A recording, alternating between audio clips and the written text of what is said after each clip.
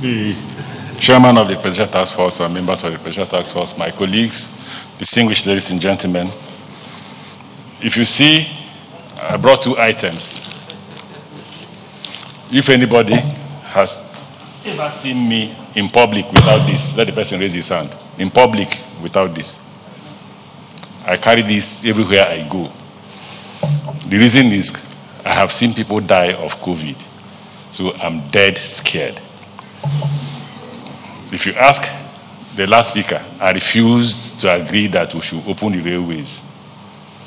It is the pressure of those who want to participate in the forthcoming spiritual activities that made me accept that we open the railway, railways from Abuja to Kaduna.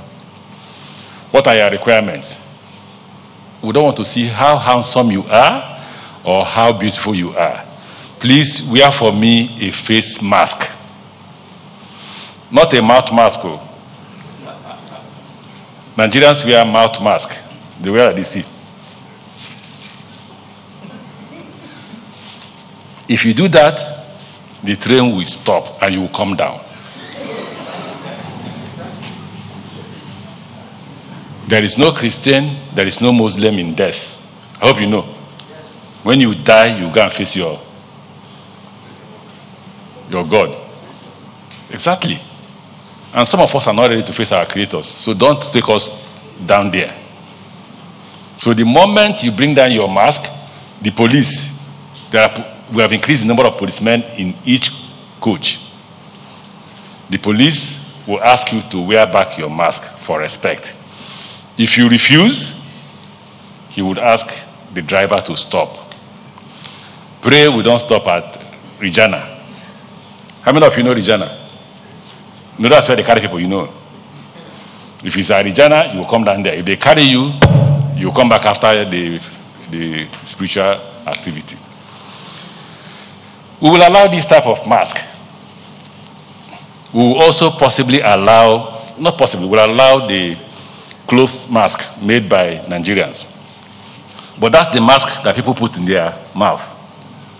So when you're getting the local, locally made mask, it must be such that covers both nose and mouth. Don't come with face shield. If you want to come with your face shield, don't forget to come with your face mask.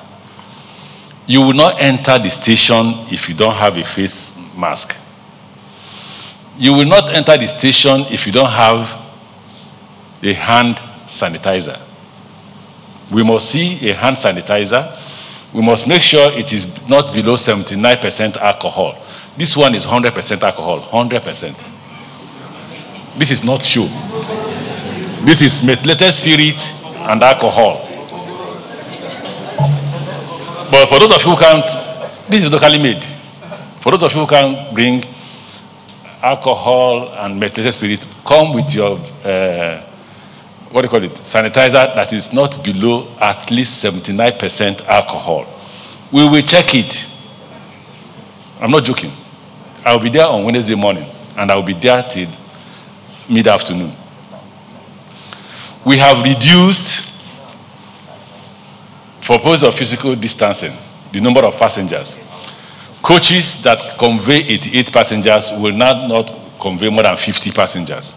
So uh, you have your space.